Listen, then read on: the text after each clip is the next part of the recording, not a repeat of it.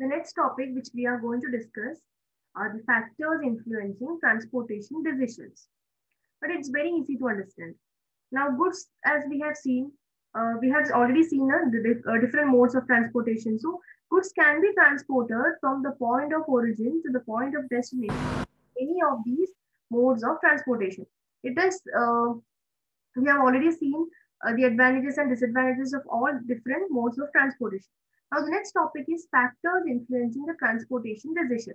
Which particular mode of transportation should we use? That is what we are going to discuss now. So the first one is nature of goods. Now, the nature of goods, it is an important factor. Like if the goods are expensive, if the goods that are to be transported are expensive goods, then it is better to use airways. And if it is large and bulky goods, then we can use waterways and railways. For liquid and gaseous substances, we would be using pipelines. So depending on the type of goods, nature of goods, we can select the mode of transportation. Same way, availability. We will be using or uh, those transportation facility which is easily available or accessible, uh, which means which is readily available when we require it and when we desire it. Hence, the mode of transportation should be in such a way that it is easily accessible. Distance covered. Before uh, selecting the mode, we can see, uh, we have to decide upon the distance. If the goods are to be uh, uh, transported to a very short distance, we can use the roadways. And if it is to a larger distance, we have to think about rail, water, or airplane, airways like we need not unnecessarily spend a huge amount if the distance can be covered at a shorter period. We can simply use the roadways. Cost involved. Cost factor means the money or the fund which is allocated for the transportation. Now we know that water transportation is the cheapest mode, but it is also the slowest mode. Now, if we have uh, ऐसे products है, for example, जैसे कि even if the products are reaching the destination after two weeks or after a month and if there is no problem with that time delay in and in that cases we can go for the cheaper mode of transportation that is waterway but if we are okay with the cost if we are ready to spend uh, spend a good amount for moving the goods from one place to another we can use any other mode of transportation. Delivery time before selecting the mode, we should check the delivery details like scheduled delivery time, uh, time of uh, arrival, date of delivery, those things. If the goods are to be transported urgently, like as I told you, suppose some medicines have to be transported urgently, then definitely we cannot depend on waterways and all. That time we will have to be uh, depending on airways. Frequency. Frequency means how many times it would be available. Like uh, up and down or to and fro, the number of service frequency. If we always want it, if the frequency which our company requires is more, then according to that, we will have to select the mode. Capability of the mode, especially carrying capacity or the capability to accommodate the goods. We have already seen railways and waterways are the best means to carry goods in huge capacity because they can transport huge and heavy loads but and airways at the same time have the lowest carrying capacity. Speed. Speed is the time taken by for transporting the goods. Higher time, if we require higher time or higher speed, depending on that, we should select the select the mode of transportation. Reliability. Reliability means the task of carrying the goods. It should be it should be to uh, reach the goods at the destination point at the right time which is uh, adequately required for delivering the goods. Now, reliability किसमें ज़्यादा होता है? Reliability means we should be able to trust that particular mode of transportation. It is normally told that pipeline is the most reliable means of transportation. At the same time, we cannot send every good through the pipeline. So what is according to our availability, according to our requirement, we should select that one which is more reliable. Safety. The goods should be delivered or it should be reaching the destination in the same condition as they were perceived to reach. It should be like there should not be any kind of damage, any kind of deterioration, or any kind of loss during the transit. Transit means during the transportation. So again, depending on the type of goods, depending on the type of goods and depending our requirements, we will have to select the most suitable uh, mode of transportation. Like as I told you, if we want to reach the goods in maybe two or three hours or in, in one day, we want the goods to reach our, des uh, our uh, destination. Come whatever be it, we are, we are uh, ready to bear the huge expense. Uh, we want the goods to reach from one location to another destination in one day. Of course, we will be using the, we will be using the airways. And in case वहाँ पे airport नहीं है, in case वैसा है कि we cannot reach there through airways, then we will have to go for the next best option. So like that, like that, depending on various factors only, we can take a proper transportation decision regarding which mode of transportation can be used.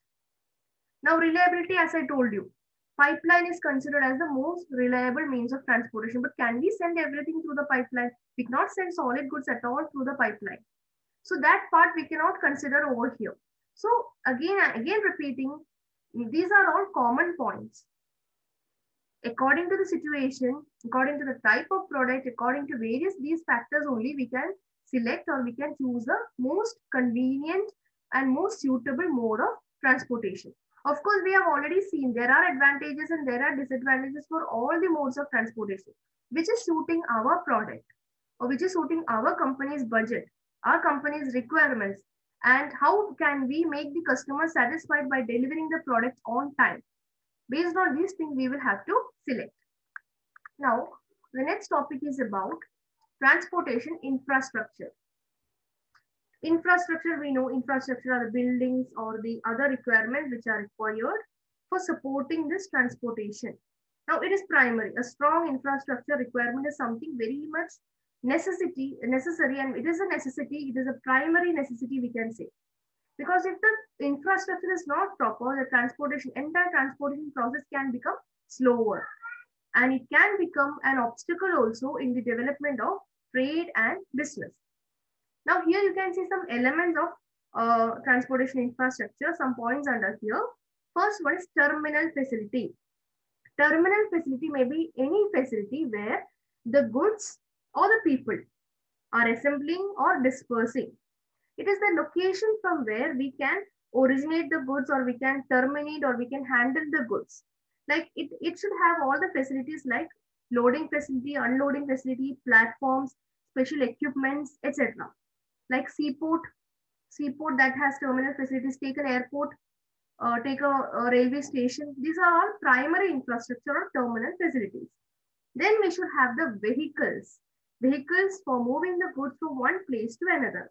Like when it comes to airports, we have the airplanes.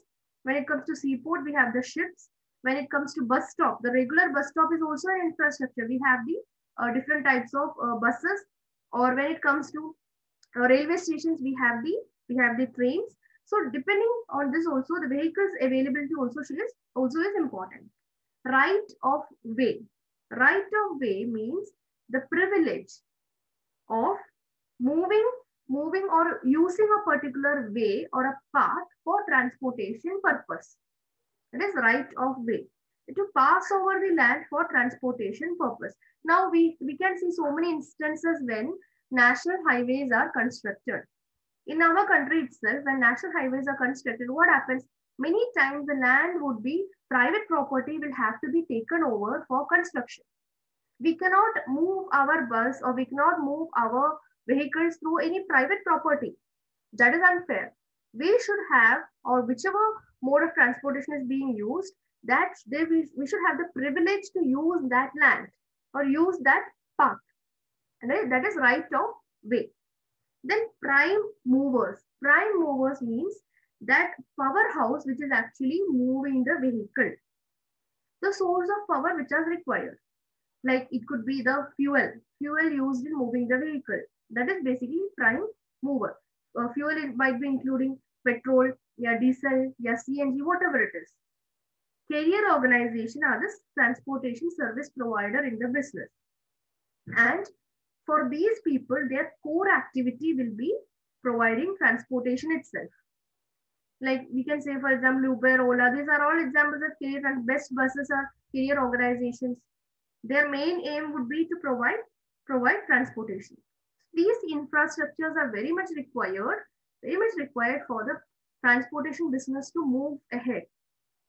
We need terminal facilities, we need airport, seaport, everything. We need vehicles for that. We need the right of way, the path or the privilege to use that particular area. Prime movers are required, which helps in uh, actually, or which are the powerhouses to use this vehicle. Then carrier organizations. Now, the next topic is about intermodal transportation.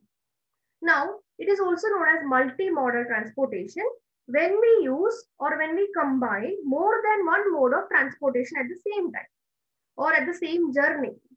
We can say we are using intermodal transportation. And the main aim here is to take the advantage of the various modes of transportation. It helps to provide the best service at the lowest possible cost. Now, the significance here is that it helps to minimize the time, minimize the cost, and reducing the cost. Or we can say uh, we can say uh, reducing the difficulties also during transportation. For example, if you if I'm traveling to one place to another, I have reached there. Again, I want to continue the journey. I can either use a, a railway, I can either use a train, or I can either use a roadway. Just an example. But train आएगा एक दो घंटे के बाद ही next train I will get. Okay, for moving to the uh, required location. But I, I frequently I will get buses from that area.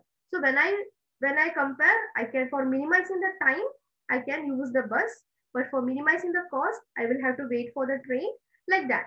So when we are combining more than one mode of transportation available, that is known as intermodal transportation. It is also known as multimodal transportation. Now, one more thing which you have to remember here is containerization. What is containerization? You can see in this picture over here, containers, big, big or large, large containers. You can see over here, a large containers. This is commonly used during water, water transportation. Now, what is containerization? It is basically uh, the method of distributing merchandise. Merchandise means goods in a unitized form, like in one particular unit. Container refers to the physical equipment which is used to unify number of shipments together and then it will be moving as one single unit. These are used to handle heavy or bulk merchandise. Mer merchandise means bulk shipment. Now, this is an example of an intermodal transportation which will use intermodal containers They will be having standard definition, standardized dimension. Dimension in the sense standardized size. They can be loaded, unloaded, stacked, एक के ऊपर रख सकते हैं and it can be easily used over long distances and it can be easily even moved from one transportation mode to another one without opening it. So the goods inside are very much safe. The handling system majorly are done with the help of mechanized system. Like cranes are used, uh, forklift trucks, etc. are used. And all the containers will be numbered properly and tracked also using especially nowadays using technology or using computerized system.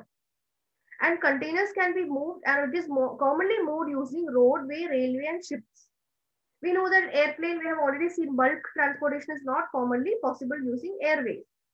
So uh, apart from airways by roads containerization is possible railways also it is possible by ships also it is possible what is it actually it is a physical equipment only. Inside that, number of shipments are, are added together or kept together and it will be moving as one individual unit. Like here you can see how this crane is being used to lift the container. Now, advantages and disadvantages of containerization. Again, there is no door-to-door -door shipment available over here. It will help to reduce the freight cost, less documentation, reduced warehousing and inventory cost, higher productivity. And everything we cannot put in containerization. That is disadvantages. It is again a difficulty to trust liability because there will be several carriers. For example, roadway use करेंगे roads के through truck में भी use करेंगे उसके बाद वो containers वहां से shift करके maybe they will keep it in a ship so what happens अगर कुछ गड़बड़ हो भी गए we will not understand कि वहाँ पे कहाँ पे problem हो गया है then heavy capital investment required, then proper material handling equipments are required for moving the containers. Now this is very easy to understand, intermodal combination. Like as I told you, intermodal combination क्या होता है? when we use when we use more than one mode of transportation and it is also known as multi-modal transportation here you can see piggyback. Piggyback means combining rail and road. When we tra uh, travel by both railways and by roadways that is known as piggyback. When we travel by water and road transport it is known as fishyback. It is easy to remember fishyback. Water and road. And when we travel by air and road combined, it is known as birdyback. Okay, now when we are using water, land, water, that is known as land bridge. Land is acting as a bridge over here. Land is acting as a bridge between two water destinations. From origin, we start from water, then we travel in land. Again, we have water, uh, destination is water. That is known as land bridge. These are just some names which you have to remember. Now here you can see land bridge again explained. Water, land, water, land, water road. Here what happens? You begin by traveling by a ship. You move across it. After that, you use the land. Again, you will have to use the water route. And it will it also involves mini land bridge and micro land bridge. Mini land bridge means port to port. Port to port. And micro land bridge means port to non-port city. For example, I'll tell you how it is working. Land bridge, mini land bridge means only transportation happens to port to port. Like something is to be moved from Mumbai to Kochi, Mumbai to Chennai, port ke through ही होता है वो. And when we are moving goods from port to a non-port city, non-port means which is not having a port. For example, Delhi. Delhi does not have a port over there. So what happens if some goods are coming to Mumbai? or we have to take it to Delhi. We cannot use a port. It will be moved either through railways or airways or, or roadways. Now, factors influencing transportation cost. There are two important factors that is product related and market related which helps in deciding the transportation cost. Product related we will see first. Density. Density means weight and space aspect. Weight of a product weight of a product कैसे होता है sometimes क्या होता है कि some products will be lightweight but it requires more space to occupy for example when you are moving cotton cotton lightweight होते हैं but cotton मतलब फॉर एग्ज़ाम्पल कॉटन फ़ार्मिंग के बाद वहाँ से लेके दूसरी जगह पे लेके जाते समय weight will be less but it occupies huge space so capacity uh, the vehicle's capacity becomes uh, less over there sometimes what happens, the products will be heavy weighted but occupy less space. For example, glass item, glass tumbler, yeah, glass bottles and all, weight is very high, but it will occupy less space. So many times what happens, the vehicle's uh, space and weight utility will be less utilized, will not be properly utilized. Because of this, because of this, it will unnecessarily incur the incur huge cost. Then stowability. Stowability refers to the dimension of the product, size, shape, etc. of a product. You might have noticed when we uh, ship or when we uh, uh move goods, normally goods are uh, kept in cardboard boxes, which are either rectangular shape or square shape. Just imagine if the shape is odd. Maybe if it is a circular uh, shape or an oval shape, what happens? थोड़ा जितने भी जगह था वो waste हो जाएंगे unutilised हो जाएंगे so odd spaces or odd shape, odd sizes and all will not stow well. Stow means will not match well as per the uh, as per the requirement. So unnecessarily the cost will increase. So normally items which are having standard rectangular or square shape boxes and all, it is easy to move and it will occupy the optimum use of the vehicle space. Then handling. Again, handling also depends on the size and shape. Many times have products which are, which are having odd size. It is very difficult to handle, especially by the laborers. This will increase the cost of transportation. And when the uh, shape and size are easy, convenient with a handle and all, it becomes easy for them to handle. It will reduce the transportation cost. Liability refers to the probability of any kind of theft or damage to the product during transportation of the product. We are responsible only during transportation. Okay. So sometimes products are subject to damage maybe due to any kind of weather conditions or any kind of temperature, humidity, some reason, if the products are damaged, the, the they should have the responsibility or they should take the responsibility, claim or accept responsibility for such kind of damage. These are all product related. Now market related what happens? Location of the market. Sometimes the goods are to be transported to a longer distance. Of course, the transportation cost will be high and vice versa. If it is a shorter distance, it will be less. Nature and extent of the government regulation. Like for example, sometimes some regulations will be given by the government. Some changes will be there in the policies and all that also will, uh, will uh, affect the transportation cost. Seasonality of product movement. For example, sometimes product movement happens only, certain products happens only during particular seasons. So what happens? During that particular season, the transportation uh, carrier, they will be having huge demand. For example, in regions where seasonal fruits and agricultural products are manufactured, transportation costs will be very high during the peak season, whereas it will reduce during off season. Then of course, during domestic and international transportation, we know uh, for international transportation, the cost will be high compared to domestic transportation. Degree of competition also, uh, it is also a major factor here. Degree of competition happens mainly due, through various modes of transportation, yeah, through various uh, transportation carriers in the same mode also. So depending on that also, the cost will be varying. This much is about the first topic in the second module. Once again, we'll start from the beginning.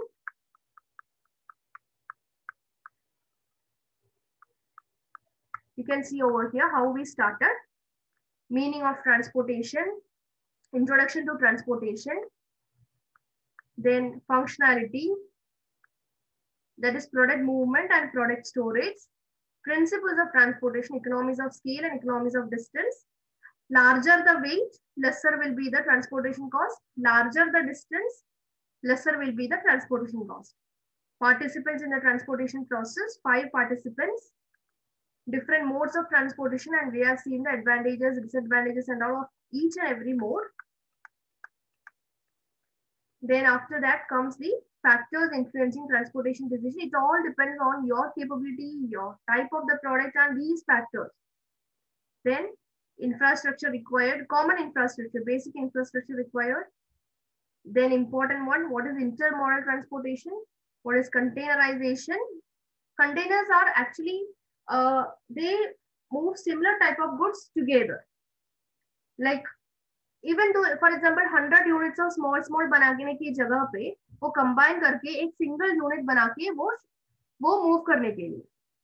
Then these are some examples of containers advantages and disadvantages, intermodal combinations, land bridge, factors influencing transportation cost.